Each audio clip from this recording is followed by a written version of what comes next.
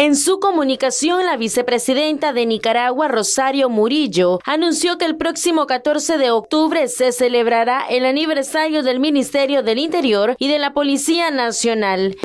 Y el día 14, lunes, estaremos celebrando también el aniversario del Ministerio del Interior, de nuestra Policía Nacional, Policía Sandinista, y estaremos también participando de un hermoso desfile el día 15 en la avenida de Bolívar a Chávez. Asimismo, señaló que el próximo miércoles 9 de octubre, el gobierno central entregará a las familias de la región autónoma de la costa Caribe Norte el segundo tramo de la carretera Sasa-Puerto Cabezas. Este tramo de 28 kilómetros de concreto hidráulico proporcionará una conexión segura y estable entre los polos de desarrollo productivo de la costa Caribe Norte y las regiones del centro y el Pacífico de Nicaragua.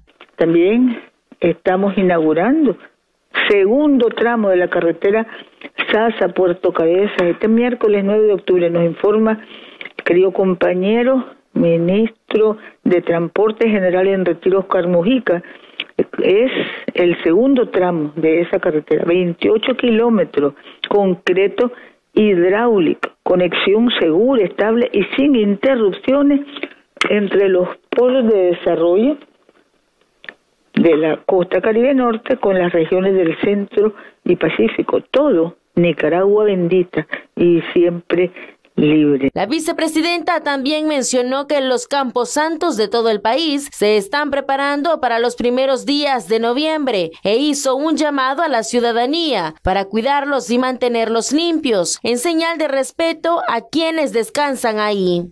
Y luego todos los campos santos preparándose para los primeros días de noviembre. Y bueno, todos los, todos los meses y todos los días del año deben estar cuidados amorosamente limpios para las visitas que realizamos los familiares a los familiares que ya están ahí viviendo el sueño de lo justo.